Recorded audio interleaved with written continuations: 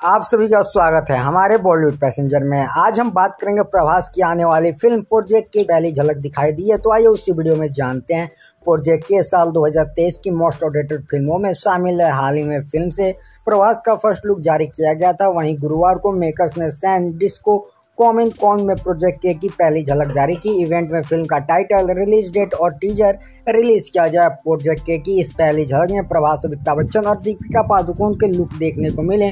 Film के नाम को लेकर काफ़ी वक्त से सस्पेंस बना हुआ था कि आखिरकार प्रोजेक्ट के में के का मतलब क्या है? वहीं जॉनर की बात करें तो प्रोजेक्ट के एक साइंस फिक्शन फ़िल्मों में से एक है। San Diego comic con event के दौरान मेकर्स ने खुलासा किया कि प्रोजेक्ट के का मतलब कॉलिक 2019 8 एडी है प्रोजेक्ट के इस वीडियो में अमिताभ बच्चन, दीपिका पादुकोण और प्रभास भविष्य की दुनिया में दिखाई दे रहे हैं और युद्ध जैसी स्थिति सामने आ रहा है।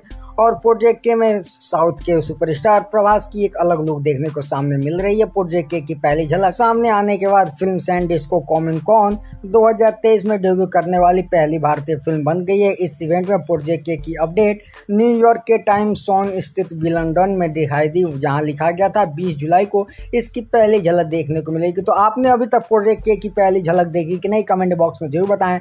अगर देखी तो आपको कैसी लगी ये भी कमेंट बॉक्स में ज़रूर बताएँ। चलते चलते वीडियो को लाइक करें, ज़्यादा ज़्यादा शेयर करें। चैनल को सब्सक्राइब करें बेल आइकन दबाना ना भूलें।